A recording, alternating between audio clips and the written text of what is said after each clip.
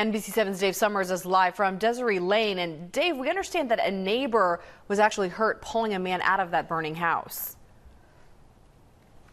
Yeah, that's what happened. The victim's 20 year old neighbor burned his hands severely trying to open this garage door to get to him. It was a dramatic scene with flames leaping over the house several feet. Neighbors trying to get each other out of the way and out of the way of this burning ammunition.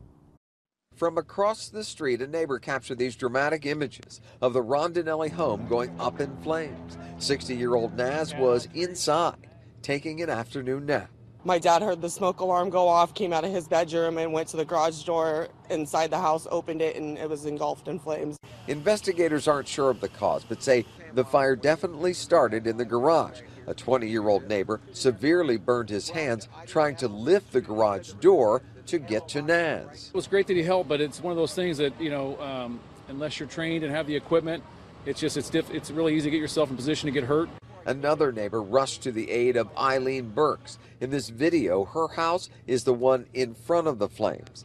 She has MS and lives alone. I feel good. I feel it's cold. I want to go home. Good Samaritans pitched in at great risk. A large box of ammunition in the garage could be heard popping in the heat of the flames. Live power lines fell from the roof and danced on the street while an open gas line was feeding the fire inside.